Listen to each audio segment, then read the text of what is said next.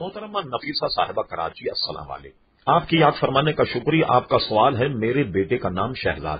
میں نے سنا ہے کہ شین سے نام رکھنا ٹھیک نہیں ہے۔ برائے کرم یہ بتائیے کیا درست ہے؟ محترمہ نفیسہ صاحبہ، ہرگز یہ بات درست نہیں ہے۔ آپ اپنے لڑکے کے نام میں اتنا ضرور اضافہ کر لیجیے، محمد شہزاد۔ یا شہزاد احمد، یا شہزاد محمد، تو اس میں کوئی حرج نہیں۔